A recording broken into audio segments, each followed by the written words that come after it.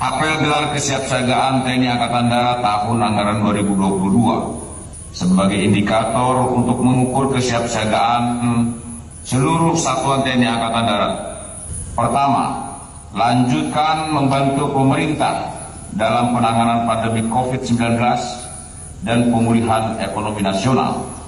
Kedua, masalah kerawanan bencana alam. Ketiga, radikalisme tetap menjadi ancaman yang perlu diwaspadai. Keempat, terkait tahun politik, kita tetap memegang teguh netralitas TNI. Kelima, program ketahanan pangan, penanganan stunting, dan program TNI Angkatan Darat Manunggal Air harus terus berjalan untuk membantu pemerintah meningkatkan kesejahteraan masyarakat. TNI Angkatan Darat harus hadir di tengah-tengah kesulitan rakyat serta mampu memberikan solusi terbaik.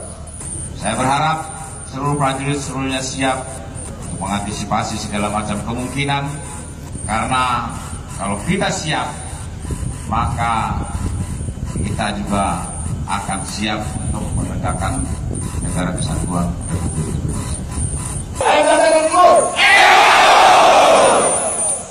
Ya, terima kasih Bapak Kasat uh, melaporkan bahwa Kodam 14 Hasanuddin seluruh personil siap melaksanakan perintah yang tergelar di empat titik, kemudian dua di lokasi.